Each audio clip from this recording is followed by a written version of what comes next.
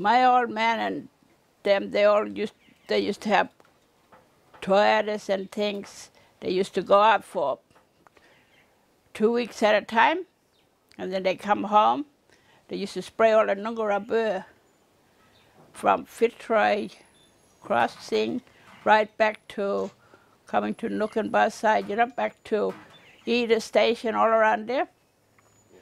And when they used to come home for the week off, we used to wash the clothes. Well, we used to have a twin tub, and we used to wash it. Well, I didn't know there was what sort of spray they were using. Used to wash it with our clothes, and it just smelled very stink, you know. And we used to do that till the season to season. Then they stopped, and Ron Delvin, you know, he was the boss.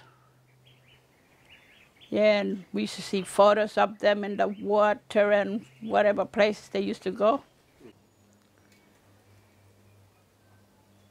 No, Miles Bohr. They had a little depot in the inside. Yeah.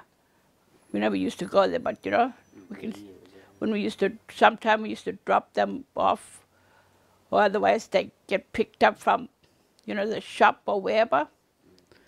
Yeah, but, well, we're inhaling it, eh, when we wash it. We, you gotta go from the one tub into the, spin it, then, you know, spin them again.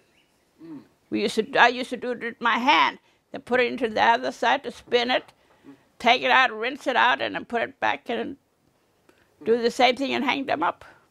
Yeah, well, I get headaches and things, but it's not going to do anything good anyway.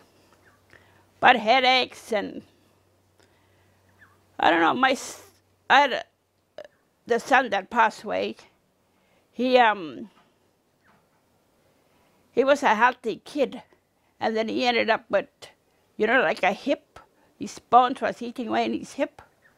But I know my husband when he was sick in the hospital here, they found traces of chemical in his body. You know. Broome Regional. I had my niece with me that day, Janine Rowe. Yeah, and the doctor said that he had traces of chemical in his body. I don't know if they, well, they must have been camping not far and then go out, drive out, you know, some out towards wherever the main places that they have to spray all the burrs, you know. Well, if the wind is blowing towards them and they spraying, of course you got to get the stuff back into UA. You know, it's not easy. Wind is wind.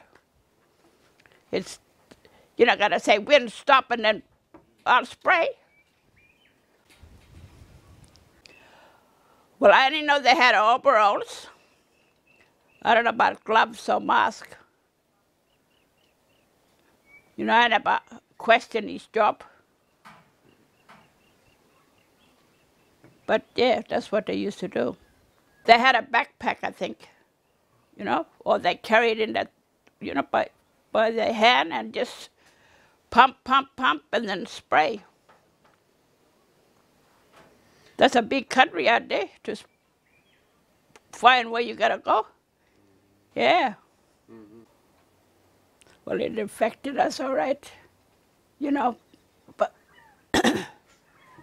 so it might be in the future my kids might get, or their kids, we don't know what happened. You know, it must be still in our body. We don't have any tests done to us or whatever, you know, even till today. Well, over the 30 years, I just gave up on government or anybody because we used, they used to tell us, we had um, people coming we had to see them at the hospital. They were talking to them, you know? Talk is talking, but doing anything, nothing has been done till today. So just give up on them. Well, it'd be good if it, you know, them to do something because to other people it's going to be the suffering too, you know? It's not only Aboriginal people. It's everybody who been spraying those sort of things, you know. And it'd be good to see them. The government either do something or or that. That's all I to say. Maybe I might want to swear. I can't help it. I swear, right?